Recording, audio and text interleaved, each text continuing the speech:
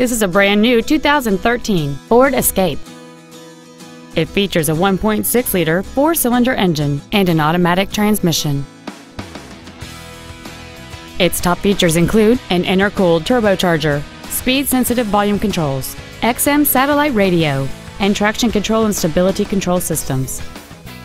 The following features are also included a low tire pressure indicator, air conditioning, cruise control, a six speaker audio system, a four wheel independent suspension, a rear spoiler, a security system, dusk sensing headlights, a rear folding seat, and aluminum wheels.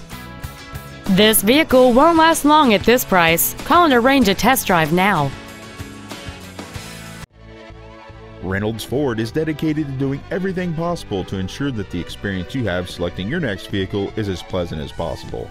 We're located at 825 North Interstate Drive in Norman.